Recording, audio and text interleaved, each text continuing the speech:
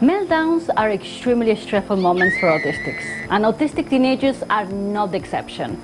So in today's video, I'm going to give you some ideas on how to approach your autistic teenager during a meltdown. If this is your first time on my channel, my name is Maria Borde. I'm an author and mom of three autistic children. And if you would like to get more autism-related tips, please take a few seconds and hit that subscribe button and the little bell to receive notifications.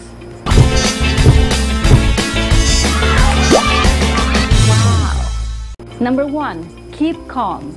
It may seem like the obvious thing to say, but when your autistic teenager is having a meltdown, it is very easy for parents to lose control because the child might shout, slam doors, and be considered rude. It is very important to have a cool, collected head and remain calm during these kind of moments so you can think clearly and you can be able to support your child better. It is not that time to get angry and try to quote unquote correct them. If there's anything you would like to explain to them, you can always do it after the meltdown passes. Number two, be empathetic. The world out there is not always kind to autistic teenagers, and there's so much pressure on them.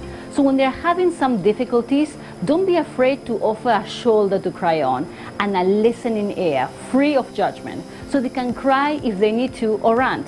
Showing empathy and not sympathy is letting your child know that they are important and they can always count on you. There is absolutely nothing more important at that moment than to be there for them and validate their feelings. Number three, respect the space and boundaries. Sometimes your autistic teenager might want to be by themselves during a meltdown so they can self-regulate. They might or might not be able to tell you this verbally, so look for the signs. So if they are not engaging in self-harming behavior, give them the space and time they need to calm down on their own and let them know you are there for them if they need anything. Respect their wishes, their boundaries. Listen to what they have to say and allow them to make the choices that will help them through the meltdown. Number four, don't punish them. Your autistic child is not having a meltdown on purpose. He's not being spoiled or wanting their own way. So there is no reason why they should be punished or be told that they will be punished. This is a time where your teenager needs you the most. So they need to feel loved and cared for. And a good way to show this in this particular situation is by being understanding. A good support system is extremely important for anyone, and autistics are not the exception. Number five, teach them coping mechanisms.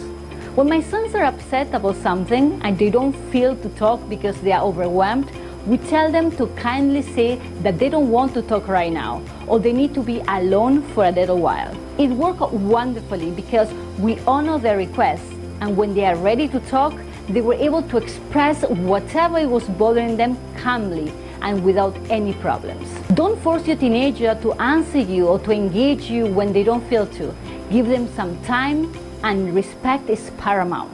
So I hope these five autism tips can help you communicate better with your autistic teenager. If you have any questions or ideas for this channel, please leave a comment in the section below. I would love to hear about you. Thanks for watching.